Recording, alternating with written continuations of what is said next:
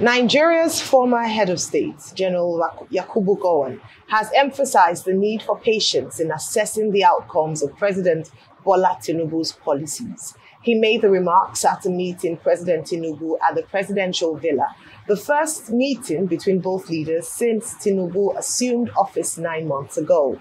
Drawing parallels to his leadership during the Nigerian Civil War, Gowon acknowledged the inevitability inevitability of government criticisms, but stressed the paramount importance of delivering tangible results. A surviving founding father of the regional bloc, ECOWAS, Gowon discussed President Tinubu's plans as a chairman of ECOWAS and sought ways to address lingering matters affecting the region. I think, uh, you know, you know, the government is trying their best to deal with the various problems uh, of the country. But uh, with Nigerians, uh, don't you worry, you can get criticized. Uh, I think uh, people out there they know they know better than uh, what you, uh, what you know you know there but you know I think all that one can say is that uh, we've got to Nigerians have to give uh, uh, the, the president, uh, the, you know, time to get things really done, and it is uh, too early to sort of say uh, yes, that absolute result, perfect result, would be achieved in, now. And Gowon has appealed to Mali, Burkina Faso, and Niger to return to ECOWAS. Gowon says they are vital partners in the region and their departure may have far-reaching implications for the region. The former head of state was speaking at the ECOWAS headquarters in Abuja, where he submitted a letter to the president of the ECOWAS Commission urging the heads of state and government to consider lifting sanctions on those countries in the interest of the people. ECOWAS, despite its shortcomings, has become an example of regional integration to the wider continent. Having achieved all of the, uh, all of the above, it saddens me to learn that ECOWAS is threatened with disunity following the announcement by Burkina Faso, Mali, and Niger three important member states of their intention to leave the community. The impact of such a decision will have far reaching implications for the ordinary citizens who have been the major beneficiaries of regional integration. Therefore, on behalf of all the founding fathers of the community and myself, I urge ECOWAS authority of heads of state and government, including the leaders of Burkina Faso, Mali, and Niger, to put aside their differences, you know, and reunite for the peace, stability, and prosperity of, uh, of our region. The message you have delivered is a powerful message. It's a message that looks at the echoes of people, not echoes of governments. I take note of your appeal and the recommendations you have made in this letter without prejudice to the discretion of the leaders, I am confident that they will bear in mind your message during their deliberations. Right, Rufai, your take on these stories. I mean, so a couple of things. Good to see uh, Yakubu Gowon again. Looks very sprite, you know, at 90 or close to 90. I mean, it's looking good. This longevity thing is just the grace of God. I would pray for longevity. I mean, he said all the right things. Uh, he's been able to clarify that it's not that he's not ECOWAS and all of that, and he still put a letter across. I called for peace because he was a major prominent member, you know, the founder of ECOWAS. And he hits all the right notes, you know, like an elder statesman will say as regards, you know, sanctions, you know, getting them off the way so that we can have conversations, you know, and the fact that those uh, countries, those three countries too, should come back on the table. Let us have conversations, you know, to be able to build ECOWAS. And he can say this because he knows the vision, he knows everything around, you know, ECOWAS, how it started and all of that. So, uh, in the point of an elder statesman, it's quite very good and very moving that he said that because when you, when you check all the leaders there, I think there are not too many around any longer, you know, that were there then. It's only the likes of Gowon, you know, that were there. And we all remember even how Gowon was ousted but anyway, it wasn't an ECOWAS summit he went, it was an OAU summit, you know. It was out in, I think it was Kampala when he was uh, ousted. But the second party said, yes, as an elder statesman, but I'll disagree with him uh, as regards that.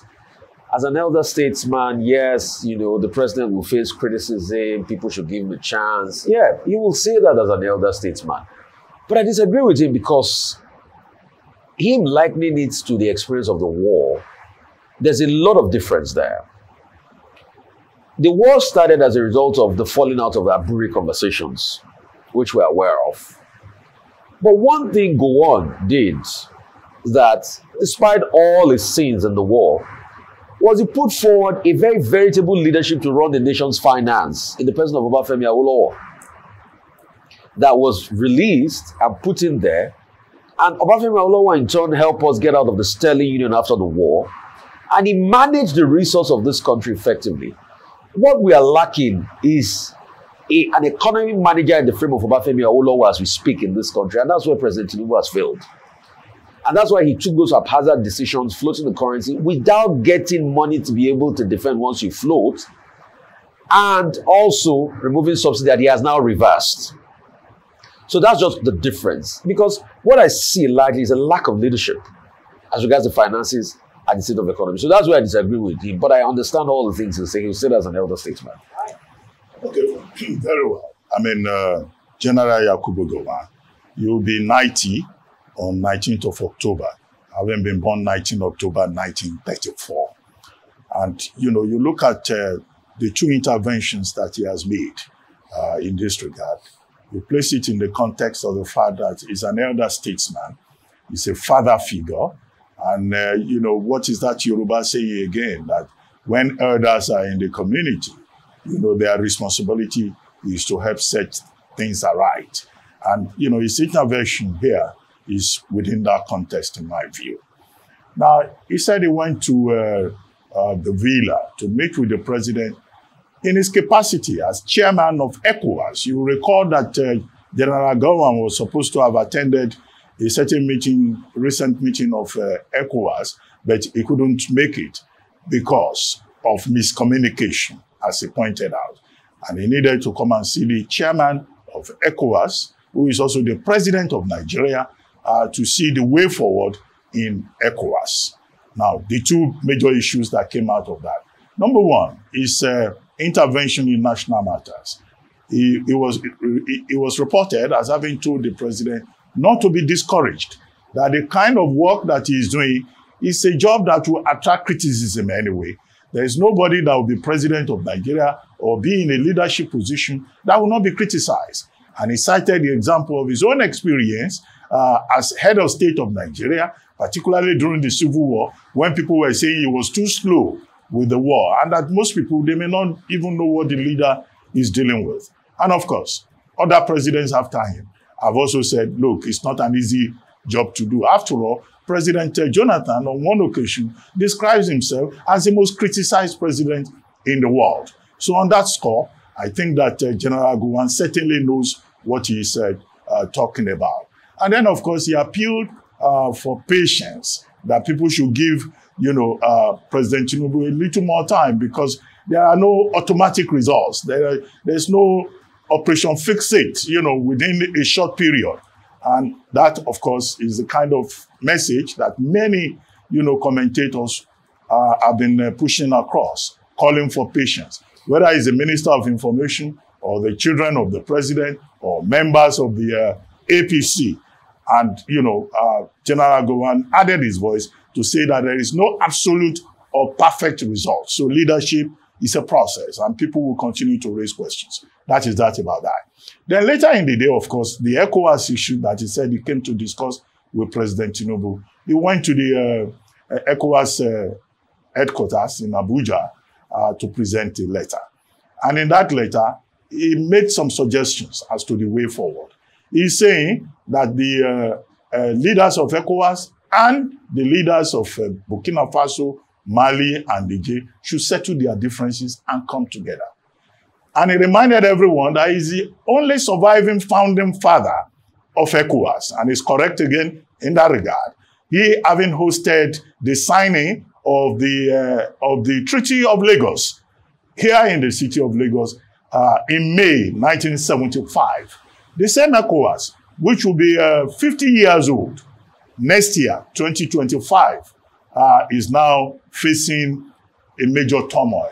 And what he has done as a statesman, as a founding father, is to remind everyone of the original principles of ECOWAS. And he thinks that the problem can be resolved, one, by ECOWAS lifting sanctions on uh, the three countries that have now formed their own Sahel Defense Alliance.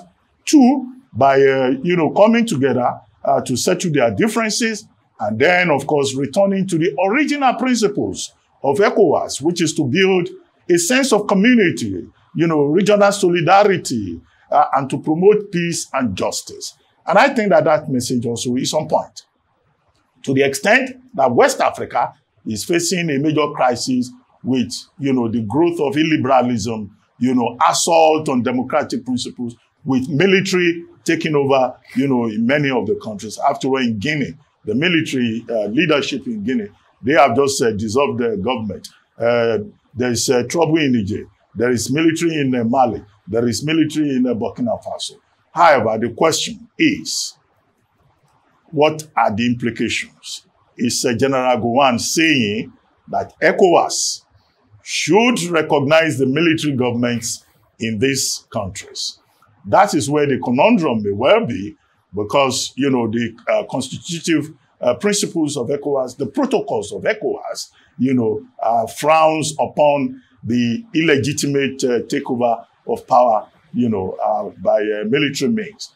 What it recognizes is democratic takeover of power. However, the president of the ECOWAS Commission has promised to communicate his concerns and transfer his letter, you know, to the authority of uh, ESO state. So it's uh, a proposition, it's an intervention, and I'm sure that the uh, ECOWAS leaders will welcome this intervention by the only surviving founding father of ECOWAS as they begin to prepare and look forward to the 50th anniversary of the body. Absolutely. Now, talking about um, ECOWAS and the three countries who had in late January um, announced their intentions to leave ECOWAS, the chief uh, of defense staff, um, General Musa, had mentioned that um, ECOWAS was going to be in talks with these three countries ahead of the summit that's to be held on Saturday by ECOWAS to discuss the situation of the three countries, Niger, Mali, and Burkina Faso, um, and their intentions to leave ECOWAS with the hope of potentially um, stopping that exit. And so a number of people have come out to talk about the importance of ensuring that these three countries remain, and in essence, that we're stronger together. And this was echoed by um, a founding father of ECOWAS himself, who used the opportunity of that visit to the ECOWAS office in Abuja to talk about some of the benefits of ECOWAS and the fact that despite its shortcomings, ECOWAS has recorded success in the, in the years in which it's been in operations, including peacekeeping missions, the ability of member states to move freely amongst countries, um, trade, liberalization of trade deals, and just to highlight that in not throwing the baby with the bathwater, the old dirty bathwater, and to see that these countries are able to come to some form of agreement, and as, as he mentioned, lift the trade sanctions as, as he talked about, where the belief is that his visit to ECOWAS would hopefully set a right tone for the conversations that will happen on Saturday at the ECOWAS summit to discuss the intentions of the three countries to withdraw from ECOWAS, with, the, with hopefully finding a resolution that would work for all parties involved. Beyond that, he also had the opportunity to, to visit the president, has been highlighted. And one of the things I would say is that, yes, we've heard a number of times and from different quarters about being patient. In fact, the president himself through the National Orientation Agency had released a statement translated in different languages in order to be able to fully communicate the fact that the policies that have been introduced since he took office ha- have been in the best interest of Nigeria. Now, whilst we hear the elder statesman with you know a lot of respect and he's coming from experience himself having sat on that seat um, at some point in, in his life. It's important to say that when it comes to governance and we hear the word patience governance for a president doesn't start on the day of inauguration. The idea is that before the day of inauguration so we count eight months technically in office but before the day of inauguration, there's been a plan. There ought to have been a plan. There was campaign season. There, there ought to have been an understanding of the challenges or the issues that the country is faced with and a plan that's been marshaled out to implement on the first day of office to get running. And many times during campaign season, we heard President Bola Ahmed Tinubu assure Nigerians that he understood, he had a full grasp of the issues that Nigeria was faced with, and he, and his team were, would be ready to tackle the issues head on. So it's not just eight months or nine months in office. It is a time from which he made up his mind to run for office, understanding the import of that role, and then coming into office to manage the economy and manage um, the, the country. So I understand patience, but the unfortunate thing, or what it seems like, is that there wasn't actually a full grasp of the issues on ground, and it seems it's as if that you know this administration is learning on the job. That is the big challenge. This ought not to be so. We we need to upgrade that position of president. It's not when you get into office that you begin to understand the issues and then ask people for patience. Nigerians have been patient for so long. The mandate was given on the basis of trust and the fact that it was an understanding of the issues. Well, I mean, we need to move on to our next story, but just to mention that that when we talk about governance, and that's why it's the importance of engaging um, officials before they get elected. What are your plans? What do you want to do for the country? So that when we get to the position, well, there are no excuses, just the work being done. Move on to our next story. Police in Benin City, Edo State, confirmed the arrest of Labour Party's national chairman, Julius Abure, alongside four others on charges of attempted murder and illegal possession of firearms few days to the party's governorship primaries in Edo State. Abure was apprehended on Wednesday afternoon in Benin City alongside other suspects. Police spokesperson for Zone 5, Tijani Momo, explains that the arrests were made following a petition filed against Abure and his associates. Wish to confirm the arrest of uh, the factional chairman of the Labour Party of Nigeria, Mr. Julius Abure, and uh, I think uh, three or four others. This has to do with a petition, a written petition that was endorsed to the AIG Zone 5 Benin from the Office of the Inspector General of Police in the case of uh, attempted murder, conspiracy, grievous harm, and um, so I think some other related offences. So based on that petition, he was arrested and the investigation is ongoing. He was just arrested today. Investigation is ongoing.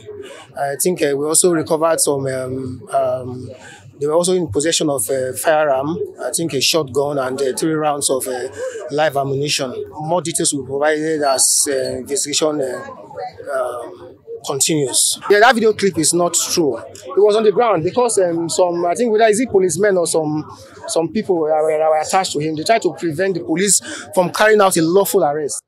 Meanwhile, the party says the arrest of its national chairman, Julius Abure, is a plot to frustrate its primary election process and possibly interrupt the party's participation in the governorship election. Governorship aspirants and supporters of the national chairman spoke out in support of the chairman. Injury done to one is an injury done to all. We are hearing that Akpata is behind this. I don't know how credible it is we are hearing that a lot of people, they are behind this. The state chairman is being arrested. The youth leader is being arrested. Democracy is on trial here in Benin. We are aware that a lot of people have imported guns into Edo State. They want to cause mayhem. Must the new beast may must they get ticket of our party?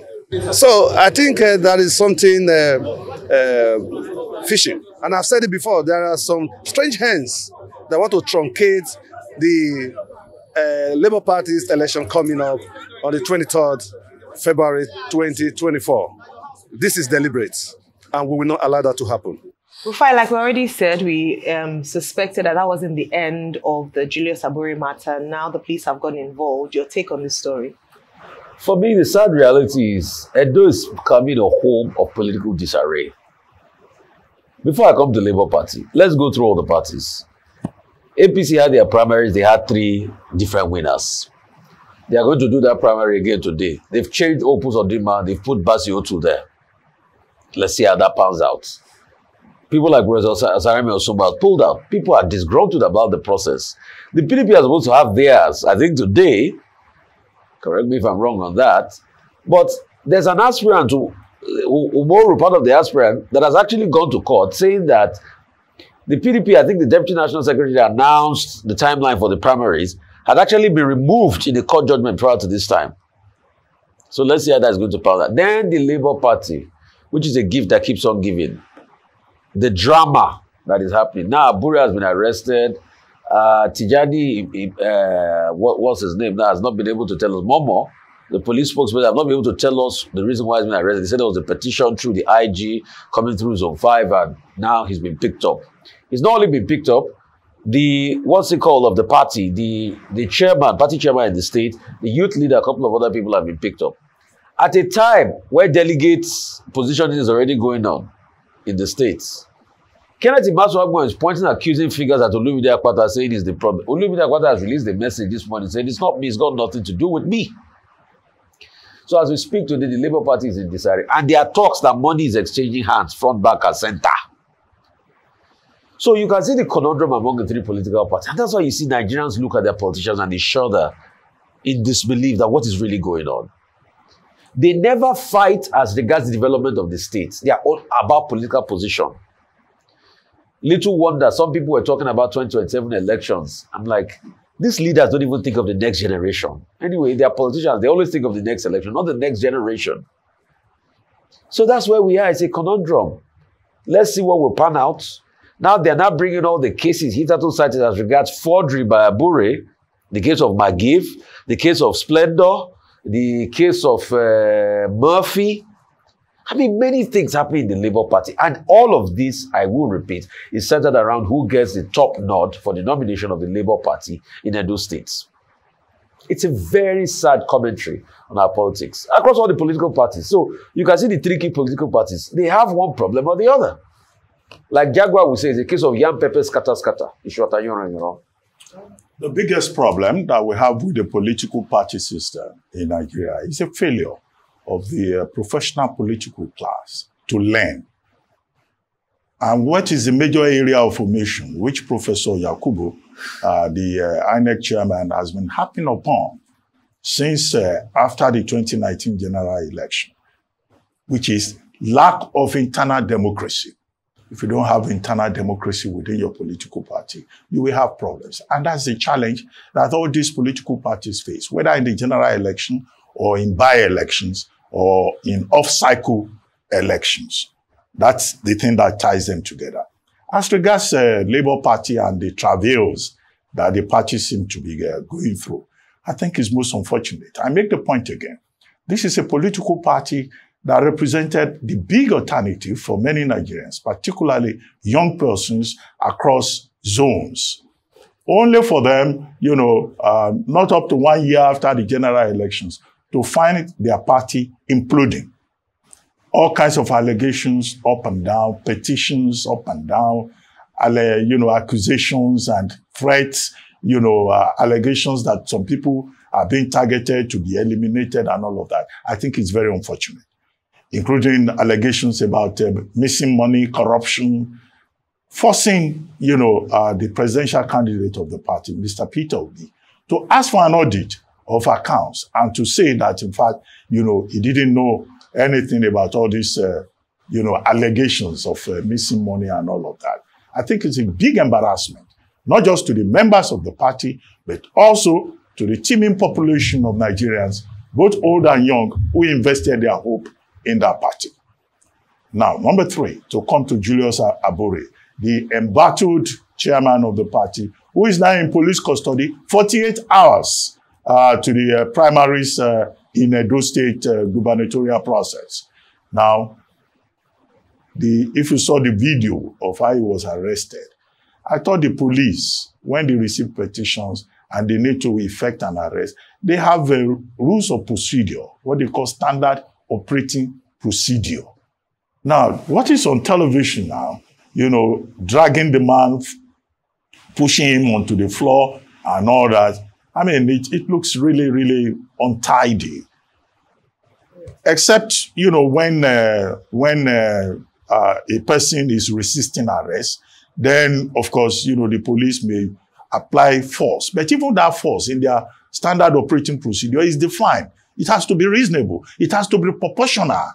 You know, all this uh, confusion out there, you know, uh, it doesn't seem to fit into uh, standard rules of uh, operation of the Nigeria police. But the police are saying that Julius Abure is in their custody and also that uh, the petition was directed to them for action uh, from the office of the Inspector General of Police. Well, what we need to remind the police is that whatever the petition may be about, because there have been allegations about corruption, about attempt at murder, and all of that, whatever it is, his rights under the law must be respected. The gentleman, uh, Emerson I think, who was saying, well, uh, it's a democracy that is on trial in uh, Edo State. Uh, they want to derail the primaries. This is a crisis that political parties face. Political parties are representing the people must also show that they are properly organized. As for Julius Abure, well, his right to defend himself, you know, should be respected.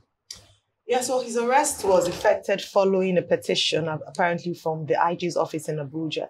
And he was released on bail at about 2 a.m. in the early hours of this morning. And he had the opportunity to speak to his supporters who had come to, had welcomed him following his release. He had mentioned and highlighted the fact or suggested the fact that it seemed almost like a persecution because they were in the opposition. However, he did mention that the case was still under investigation and he would wait um, so as not to preempt the investigation to not say a lot of things about this matter. He also did say that the state chairman and the state youth um, leader were still in custody, even though the police had uh, said that they would be released this morning. But the bigger question or the bigger conversation, as we already talked about, is the crisis, internal crisis within the Labour Party. Perhaps the reason why this is more significant is because of the fact that the Labour Party was seen as a party for the people and had a lot of involvement when it came to the way their funds were raised, a lot of goodwill and donations from, you know, ordinary Nigerians. And so when the issues around corruption and mis misappropriation of funds came up. There was a back and forth. And of course, we're not in any position to judge as to who is right or wrong. A, an independent audit has been called for by the leader of the party, Mr. Peter Obi, who has not um, shied away from talking about the issues within the party and saying that there must be accountability and transparency, especially in the Labour Party. We're looking forward to what the full investigation will reveal. However, the world is also watching to ensure that the police and author- constituted authority are able to treat this fairly and equitably. But at the end of the day, what Nigerians want to see is fairness across board. So what is good for the goose ought to be good, for, good, um, good for the gander. So if it's happening in the Labour Party, investigation should also be instituted in APC, in PDP, and all the political parties um, in Nigeria.